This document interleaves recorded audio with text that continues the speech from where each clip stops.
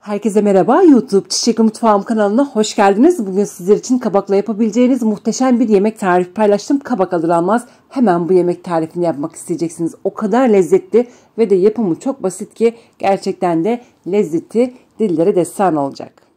Aynı zamanda diyet yapanların ve sağlıklı beslenenlerin de gözde yemeği olacak. Bu kadar iddialıyım. Bu arada eğer hala kanalıma abone değilseniz abone olmanızı bildirim zilini açmanızı ve bu videoyu sonuna kadar izlemenizi önemli rica ederek hemen tarifime başlıyorum.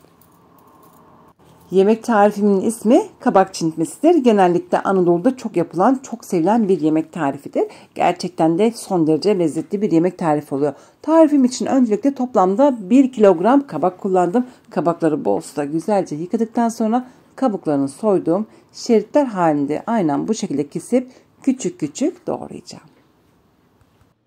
Eğer bu yöntemle doğrarsanız gerçekten de inanılmaz derecede kolay olacak doğranması. Bu arada izlemiş olduğunuz bu videoya da beğeni attığınız için herkese teker teker teşekkür etmek istiyorum. Çünkü biliyorsunuz ki beğeniler benim için çok çok önemlidir.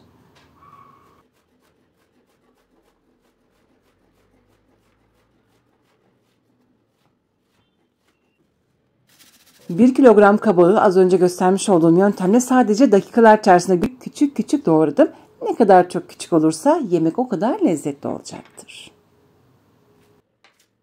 3 tane orta boy büyüklüğünde kapya biber kullanacağım. Eğer evinizde yeşil biber varsa 1-2 tane de yeşil biber de kullanabilirsiniz.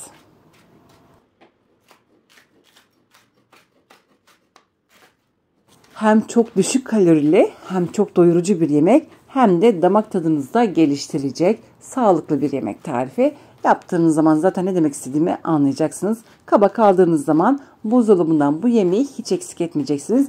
Zaten videomun sonunda da göreceksiniz. Çok beğeneceksiniz. Tadına baktığınız zaman da ne demek istediğimi anlayacaksınız.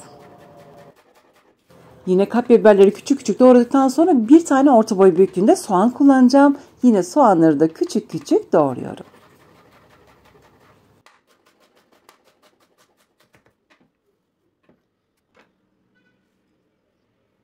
3-4 dişte sarımsak kullanacağım. Sarımsak tamamen isteğe bağlıdır.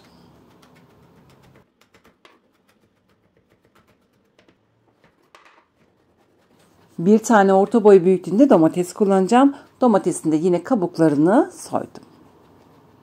Yemek tarifim için gerekli olan bütün malzemeleri hazırladım ve artık yemeği yapmaya başlıyorum.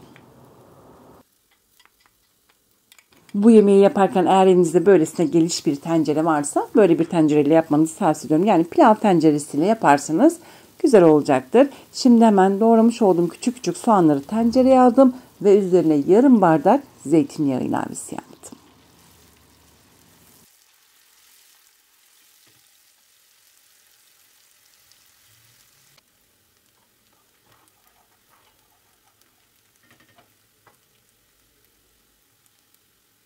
Soğanları yüksek ateşte kavurduktan sonra sarımsakları ilave ettim.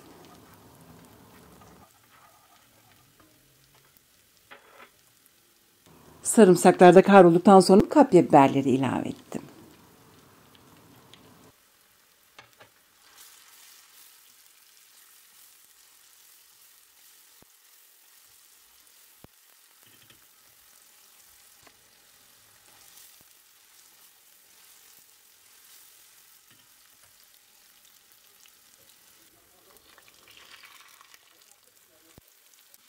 Kapya biberi birazcık kavurduktan sonra ardından kabakları ilave ettim.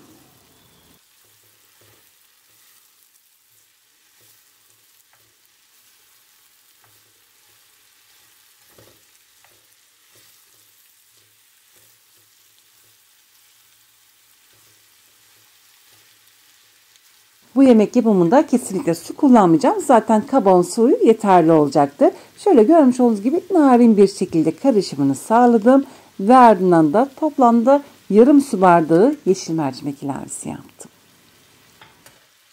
Yeşil mercimek bu yemeğe inanılmaz derecede lezzet katıyor. Aynı zamanda tabii ki de protein deposu oluyor bu yemek.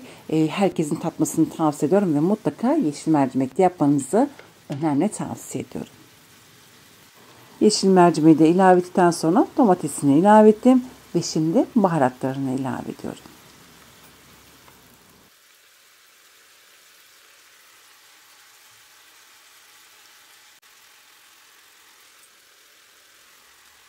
Bir tatlı kaşığına yakın tuz kullandım. Tabii ki de diğer baharatlarını damak zevkinize göre ilave edebilirsiniz. Kırmızı toz biber, pul biber ve karabiber kullandım.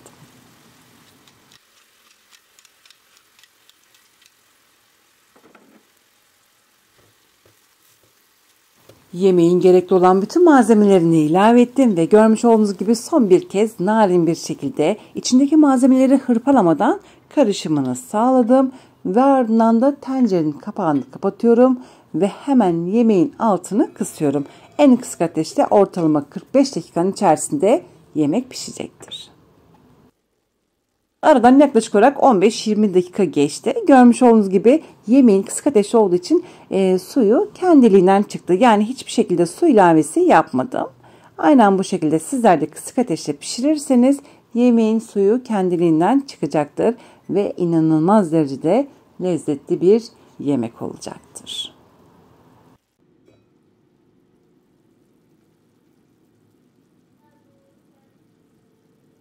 Kontrol ediyorum. Bakın görmüş olduğunuz gibi yemeğin hala suyu var. Eğer yeşil mercimekler piştiyse yemekte artık pişmiş demektir. Sebzeleri hırpamamak için kesinlikle karıştırmıyorum. Gerçekten de e, karıştırmazsanız eğer bu yemek inanılmaz derecede lezzetli olacaktır. Eğer karıştırmanız gerekirse de mutlaka narin bir şekilde karıştırın. Bakın görmüş olduğunuz gibi inanılmaz derecede lezzetli oldu ve yemeğinde suyu var. Yeşil mercimek bu yemeğe inanılmaz derecede çok yakışıyor. Ve artık yemeğimiz pişti. Eğer yeşil mercimek piştiyse yemekte pişmiş demektir. Bakın görmüş olduğunuz gibi hala yemeğin suyu var. Biraz sonra sizlere detaylı bir şekilde göstermek istiyorum. Bakın burada en önemli püf noktalarından bir tanesi kabaklar kesinlikle dağılmadı. Çünkü pişme esnasında yemeği hiç karıştırmadım.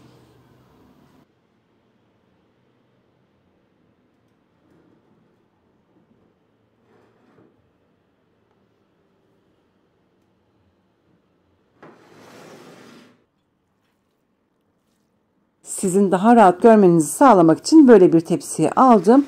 Bakın görmüş olduğunuz gibi gerçekten de çok lezzetli oldu. Dediğim gibi diyet yapan izleyicilerim ve sağlıklı beslenen izleyicilerim için 10 numara bir yemek tarifidir.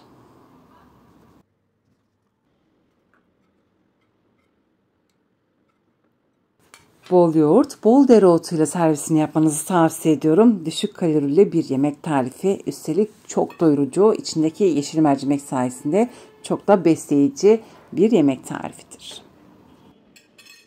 En sevdiğim yemek tariflerinden bir tanesidir. Sizlerle paylaştığım için ben de çok mutluyum. Deneyen herkes, keşfeden herkes bu yemeğin favorisi olacak. Gözde yemek tarifi olacak. Bu kadar iddialıyım.